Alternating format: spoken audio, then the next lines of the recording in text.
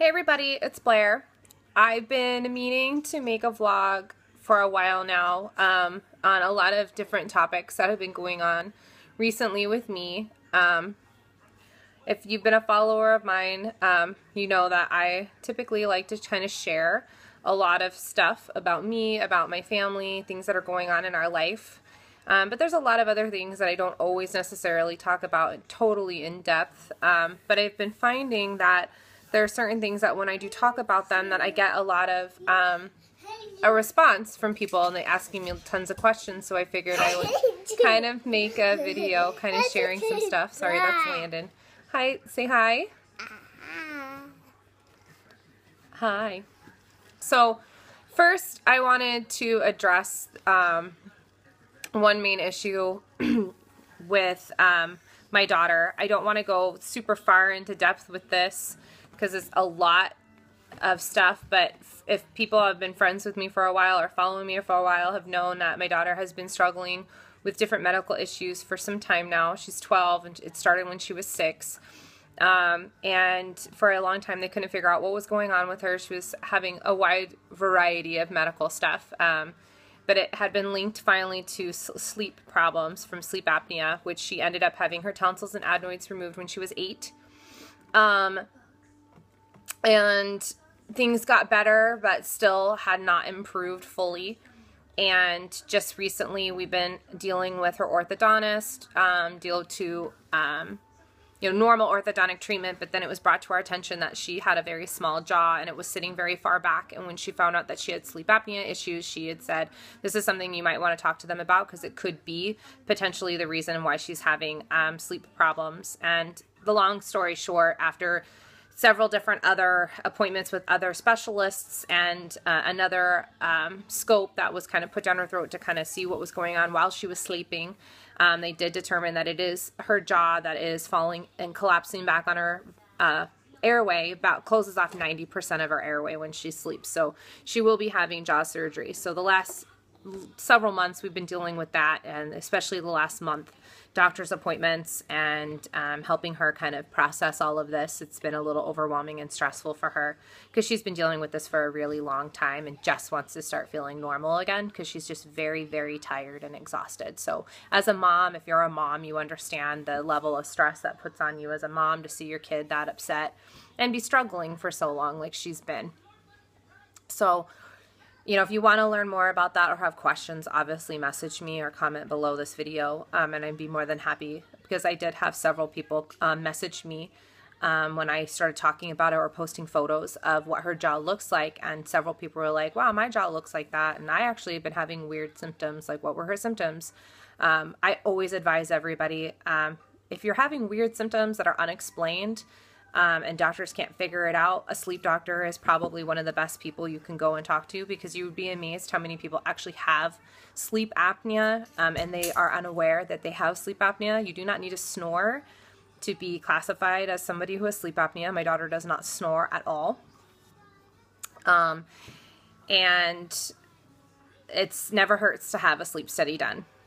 So besides that, I've been having some medical issues of my own that have been going really um, for a long time, and doctors have been kind of stumped. Um, if you've been following me for a while too, you've noticed that I've had my ups and my downs, um, that I've struggled with um, severe sinus infections. I've dealt with many um, different unexplained issues that have gone on that have been forcing me to go into the doctors many times.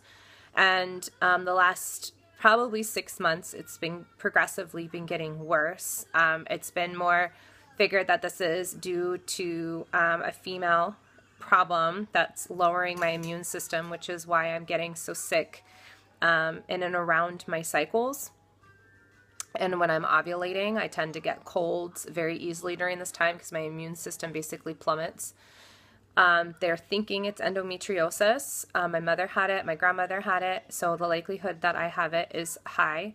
Plus, due to my symptoms, it's suggested that this is what it is. I've been having a really hard month this month. The last two weeks, it's been really difficult for me. I've been in a lot of discomfort. I've been extremely exhausted. Um, and just not feeling well at all to the point that, um, and I hate to even say this, I have not worked out in almost two weeks due to my level of exhaust- exhaustion. Can't even talk.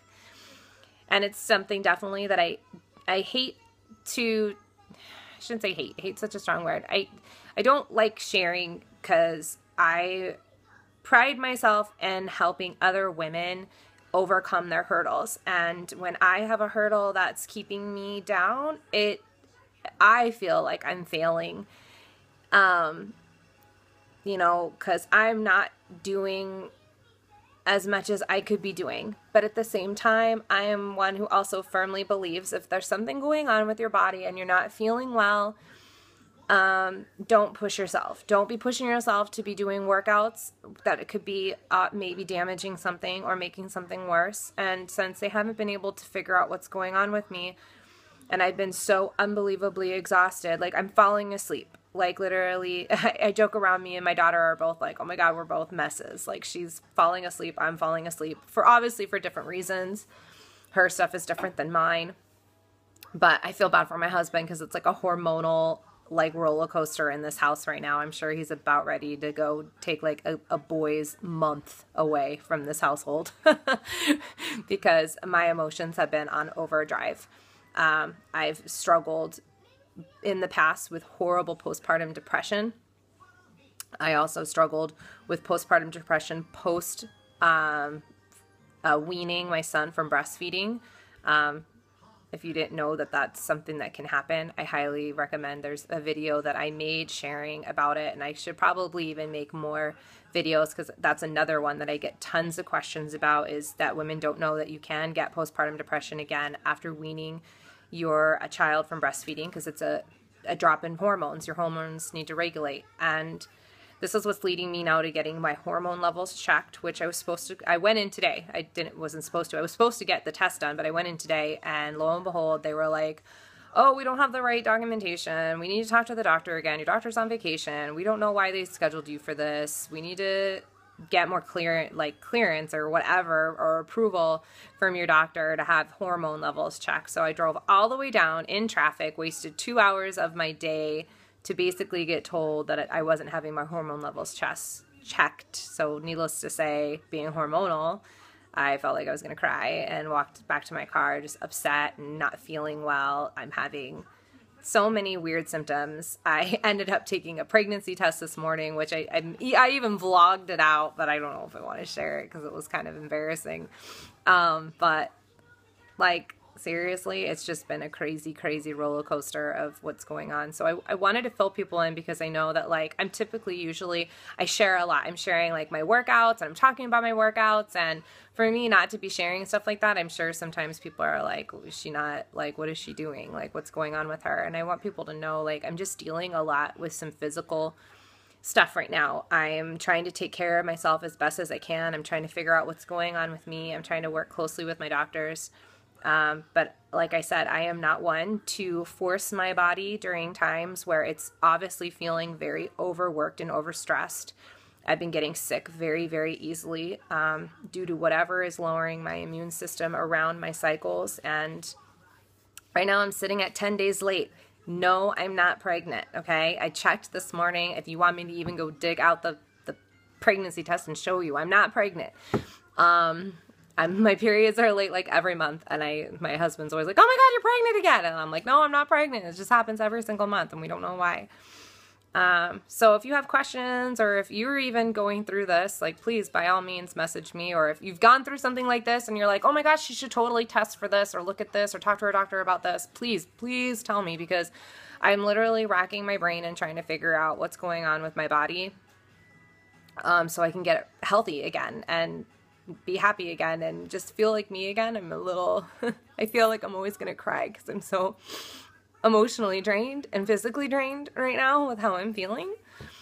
Um, so any extra support thing is always appreciated and is always welcomed. So love you guys. And uh, if uh, you're a new follower of mine and this is your very first video of watching me, please by all means um, continue watching my journey and uh, I hope to get to know you. So, bye.